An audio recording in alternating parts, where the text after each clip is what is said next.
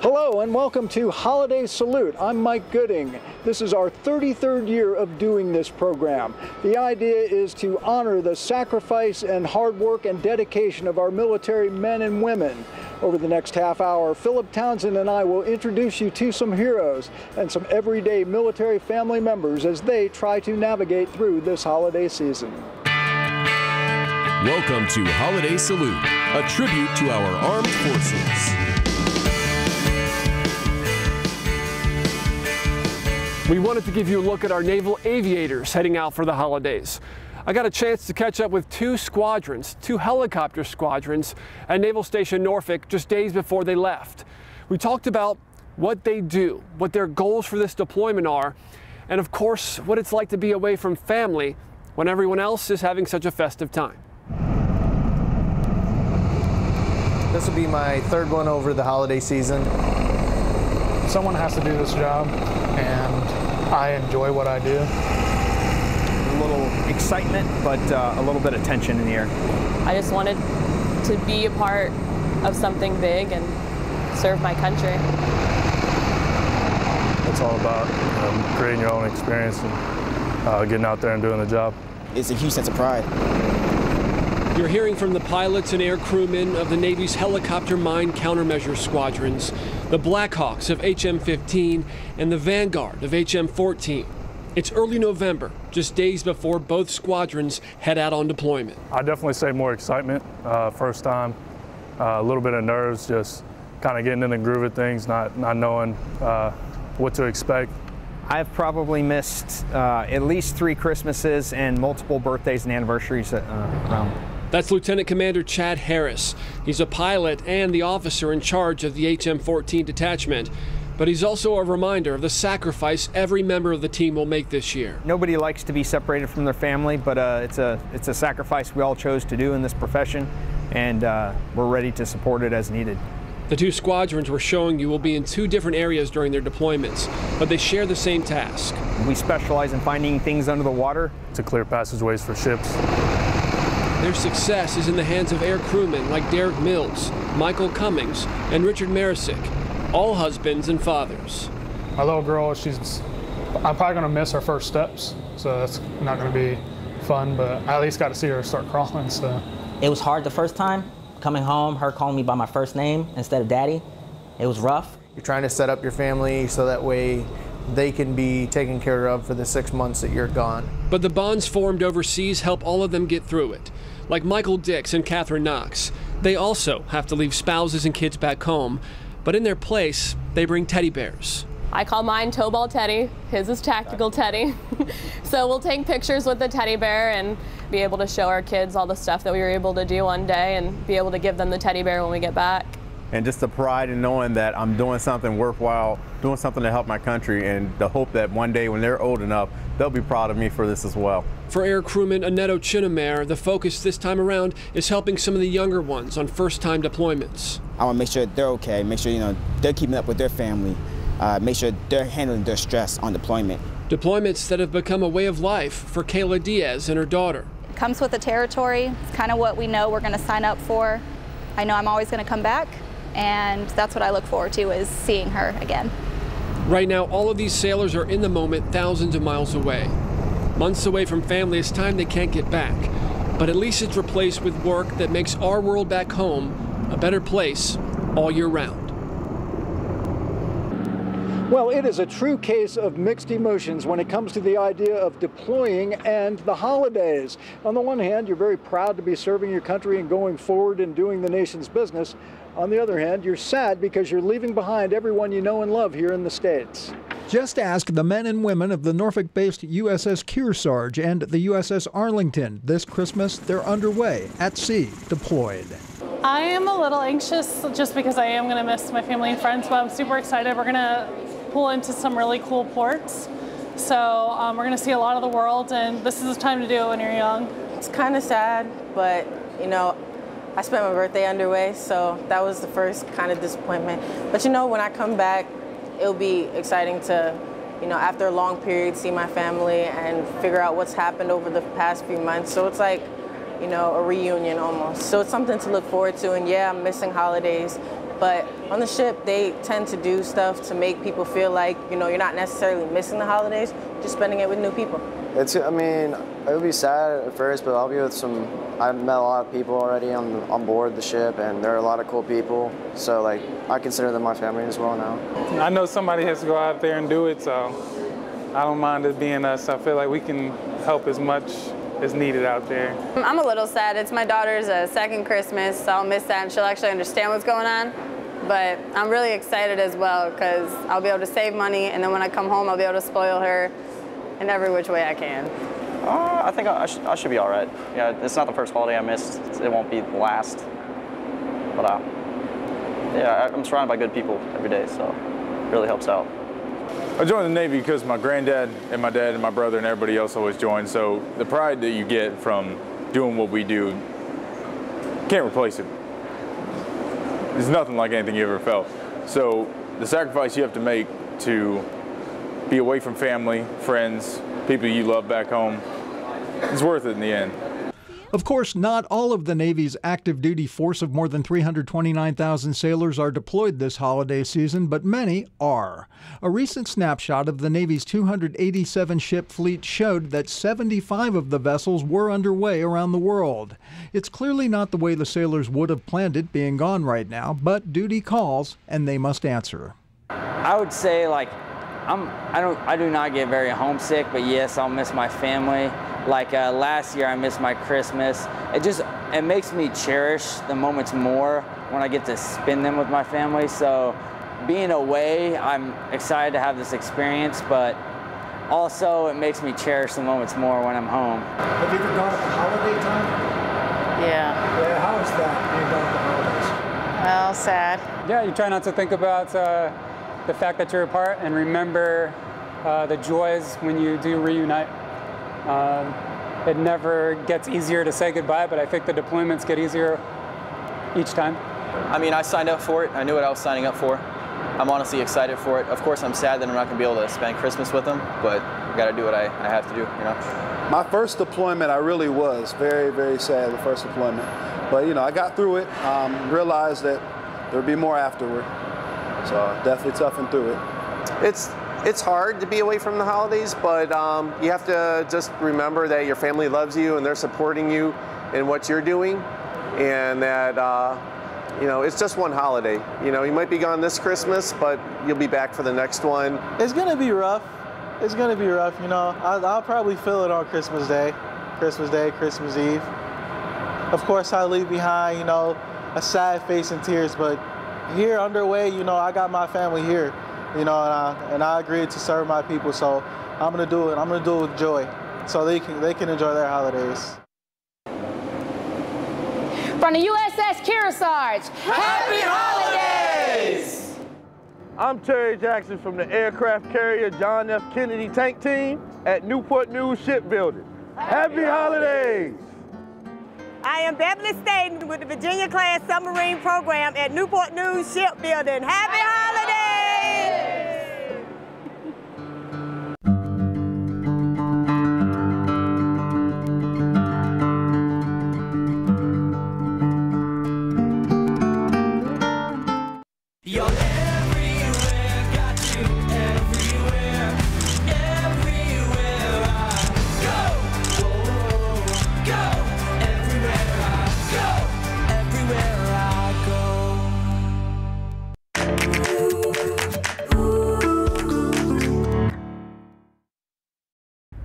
Before he left on deployment, Oscar Gonzalez surprised his wife Jen with a dog. But then shortly after he left, Jen had a surprise of her own. This is the story of a Navy family separated for the holidays with a gift on the way that's keeping them closer than ever. We- We've got it figured out. It's not going to be perfect, but nothing ever is. That's Christmas at the Nuzzo Gonzalez home in Ocean View this year. The decorations are up. Jen's putting the final touches on the tree, but one thing's missing. So I guess this would be my first, you know, kind of big deployment. Her husband Oscar is somewhere overseas right now with the Navy. He left in October. This will be the first deployment keeping the couple apart for the holidays. You know, it's the small things, right? You know, somebody just kind of had your lunch ready for you, or hey, we're going to go do this, we're going to go do that. Um, watching TV on Sundays. That's kind of our quiet time. This was some of the leftovers we had from the last care package we made for Oscar for, for his Christmas present. Peanut butter's a, a good go-to, um, some crackers, and his favorite Hershey bars. Those were a must. Jen's staying busy with a full time job of her own. She also has family close by and Oscar's two kids to keep her company. I think we're able to help each other. They understand, you know, dad's got to go work.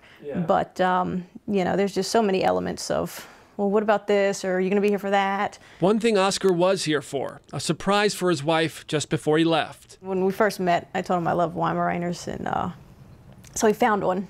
Come here. Look, you want your treat, huh?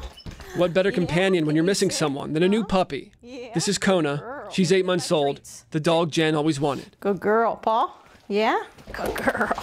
Kona's fitting in just great. But even a puppy couldn't top the surprise Jen had for Oscar right after he left. You know, I kind of staged it a little bit, asking if, if he had a minute, you know, next day or two, if he could call. It was a video chat, so I actually got to uh, show him a, a robe, but it was a baby robe. So he thought he thought I'd got him a robe for, for the holidays. And so anyway, once I informed him that it, it really wasn't going to fit anything of him, uh, he got it. And he about dropped the phone and, and everything. So major surprise for him while away. Major.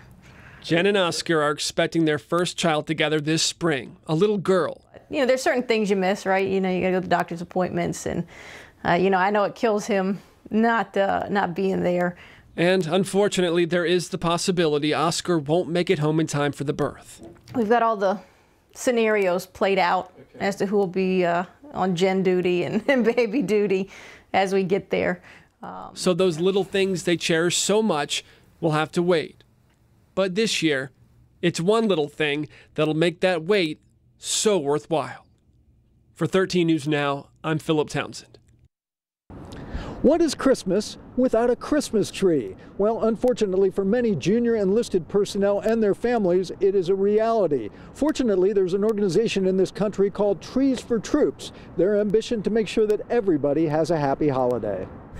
Have a great holiday, all. All right, you too. Thank you. This holiday season, Trees for Troops, a joint venture of the Christmas Spirit Foundation and the FedEx Corporation, is celebrating its 14th year of bringing real farm grown, fresh cut Christmas trees to military families from all branches of the service. Joint Expeditionary Base Little Creek Fort Story got 300 trees this year specifically for Army and Navy families E1 to E6 on a first come, first served basis, and they went pretty quickly. It is. It's so fortunate to be able to receive a tree, being a service member for my family. It's really, it's really, I really appreciate it. It's really nice because my husband is he's away right now, but I'll get to have the, the house all decorated and everything when he gets home. So it's really nice. Trees for Troops delivers on average 17,000 real Christmas trees to 70 military bases throughout the U.S. and overseas every year. The trees are provided by more than 750 Christmas tree growers and retailers in 28 states. It's amazing that the we're able to get support, uh, especially being away from our families. The mission of the Christmas Spirit Foundation is to advance the Christmas spirit for kids and families and the environment. Since 2005, they've given out more than 208,000 trees. It's all done through donations, sponsorships, grants, and the work of many volunteers. The Christmas Spirit Foundation is a 501c3 charitable branch of the National Christmas Tree Association. In 2017, Trees for Troops won the Department of Defense Spirit of Hope Award. It's given annually by each branch of the military to groups that epitomize Bob Hope's values of patriotism, loyalty, freedom, and dedication. It's all about the service members. These families are coming from the Army, the Navy, the Air Force, the Coast Guard, and the Marines. And basically, it's sometimes a tight um, situation financially, and you're stretched thin. And donators and tree growers all donate and contribute to get these trees down here so these folks can have a wonderful Christmas. Hi, I'm Master Sergeant Brandy Cotton from the Hampton Roads area in Virginia, stationed at Kunsan Air Base, South Korea, and I'd like to wish my friends and family back home a happy holiday. Good morning, America. This is Specialist El Javon Chandler here at uh, Hildesheim, Germany with 4Cab. Just want to give a special shout out to my family back home for the holidays. Happy holidays, Mom and Dad. Hi from Al Udeid. I'm Senior Master Sergeant Michelle Roach, deployed at Air, Al Udeid Air Base, Qatar. I want to wish my husband Victor, my family, and all of my friends back home a happy holiday. I love you and I'll see you soon.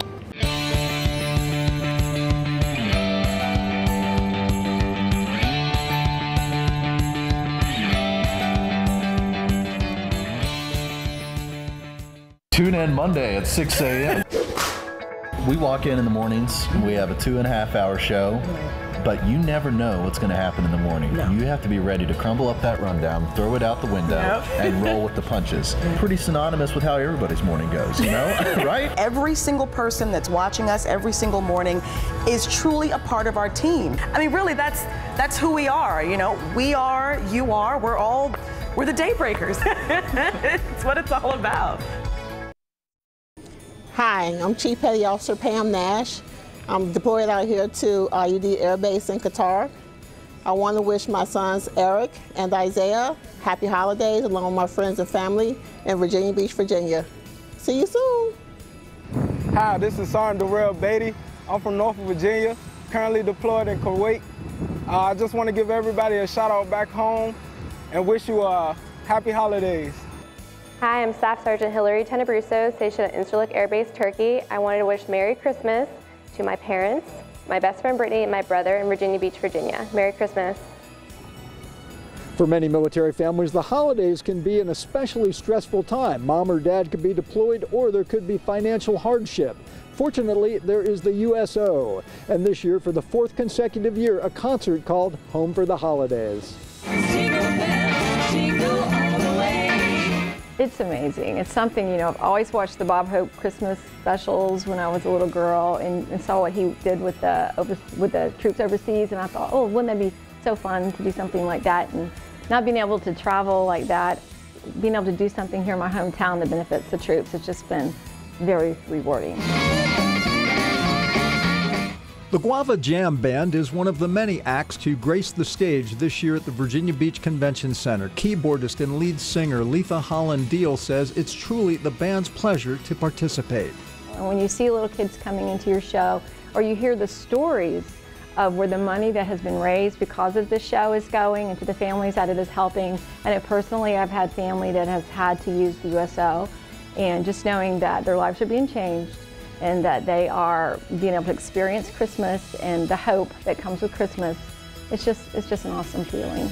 The free family friendly concert honors the USO and local military families. Besides a special appearance from St. Nick, each family gets a free photo with Santa and each child gets a free gift. More than 20 local artists played for free over two nights, and all of the net proceeds go to the USO of Hampton Roads to benefit children of military families who are in need of assistance during the holidays. It, it's wonderful for us. You know, we do so much throughout the year for all of our military families here in this area. They're, you know, we're home to some of the largest concentrations of military in the country. Um, so to be able to work with a group like Guava Jam and do um, uh, a concert like this that not only is going to bring you know a lot of, of, of enjoyment, the concert itself to the military family and the general public, but providing much needed funds for us for all the programs and services that we do throughout the year.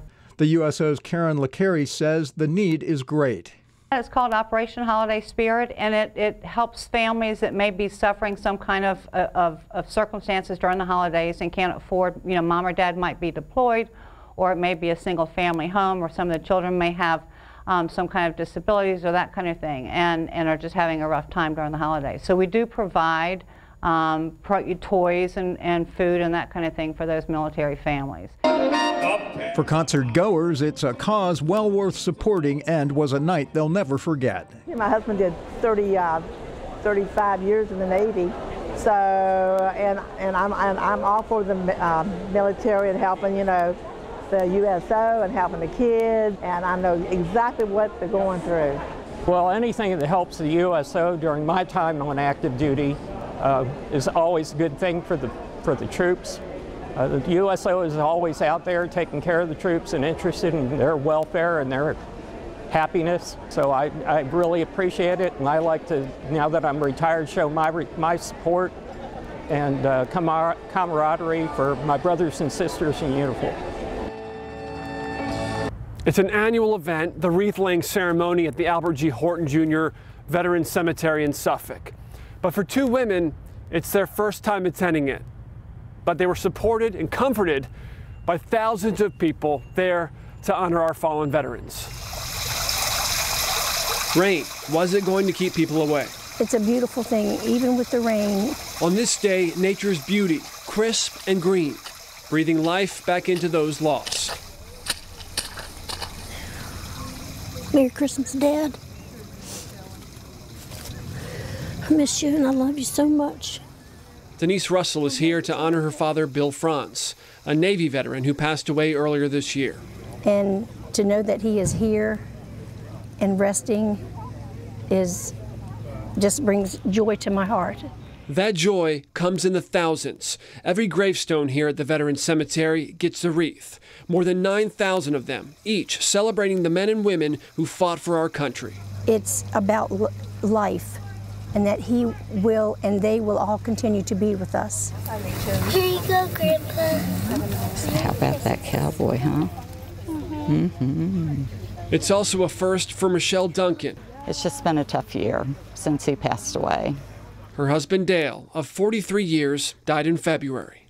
He was an Army veteran who served during Vietnam, a proud Cowboys fan, and as Michelle describes him, a good old country boy. We're getting through it a day at a time. It's a difficult day, made easier by the overwhelming support of every family, many dealing with some of the same emotions. We're fortunate that our family is here, and I'm fortunate that I'm here to be able to do it for my husband. And knowing that all these people out here today are part of who he is too. He loved, loved, loved this country, and he loved the military. This ceremony coinciding with the nationwide Wreaths Across America event. Hundreds of thousands of other veterans are also being honored all over the country. JROTC members from IC Norcom High School participated today, and hundreds of volunteers helped hand out all of the wreaths donated by people and organizations all across Hampton Roads. Here, I appreciate Absolutely. it so much. Fresh Pine can't replace Bill or Dale or any of the sailors and soldiers, airmen, Marines, and guardsmen resting at the cemetery but it does provide a powerful touch, a reminder of who they were and how they'll forever stay. He died with dignity, with, with all the honor that, that he deserved. And that's going to do it for another edition of Holiday Salute. We thank you for watching, but most importantly, we thank the men and women of the United States military for all they do at the holiday time and throughout the rest of the year to keep the rest of us safe. On behalf of everyone at 13 News Now, we say happy holidays.